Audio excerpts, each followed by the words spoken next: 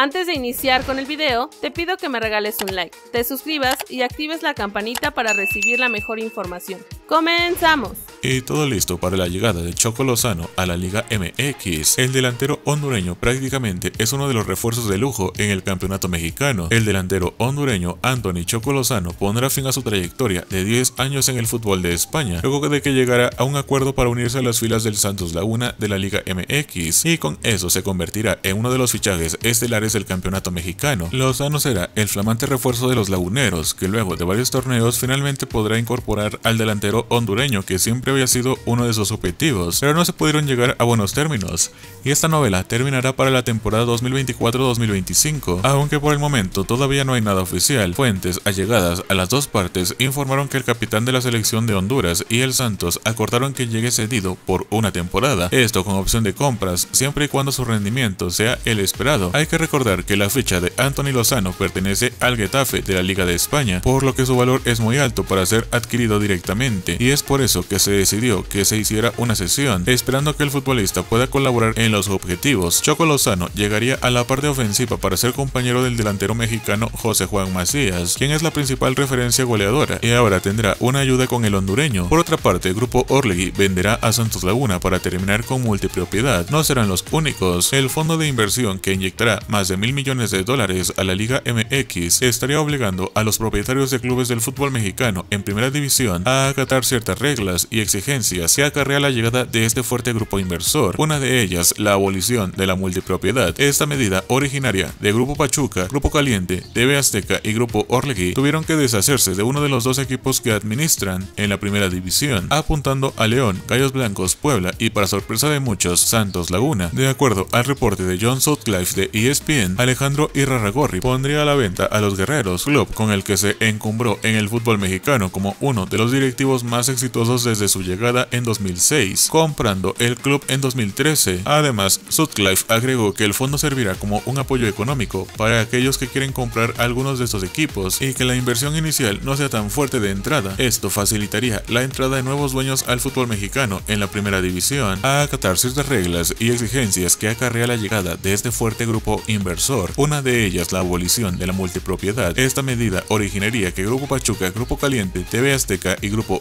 Tuvieran que deshacerse de uno de los dos equipos que administran en la primera división, apuntando a León, Gallos Blancos, Puebla y para sorpresa de muchos, Santos Laguna. De acuerdo al reporte de John Sutcliffe de ESPN, Alejandro Irarragorri pondría a la venta a los Guerreros, club con el que se encumbró en el fútbol mexicano como uno de los directivos más exitosos desde su llegada en 2006, comprando al club en el 2013. Además, Sutcliffe agregó que el fondo servirá como apoyo económico para aquellos que quieren comprar algunos de esos equipos y que la inversión inicial no sea tan fuerte de entrada. Esto facilitaría la entrada de nuevos dueños al fútbol mexicano de la primera división. Con los guerreros, Irarragorri disputó 8 finales de liga, ganando 4 de ellas, clausura 2008, clausura 2012, clausura 2015, clausura 2018. Además, fueron campeones de la Copa MX 2014 y el campeón de campeones 2015. En el plano internacional, Santos jugó dos finales de Conca Champions bajo su mandato, 2012 y 2013. Con Atlas, Irarragorri ya firmó dos títulos de Liga MX y un campeón de campeones. Ya por último, Nacho Ambriz niega problemas internos con Acevedo tras la derrota contra Puebla. El director técnico Ignacio Nacho Ambriz del conjunto del Santos Laguna dentro de la Liga MX salió a dar la cara y negó tener algún problema con el portero Carlos Acevedo. Tras la derrota frente al Club Puebla en las acciones de la jornada 1 de la Apertura 2024, el entrenador mexicano del equipo de los Laguneros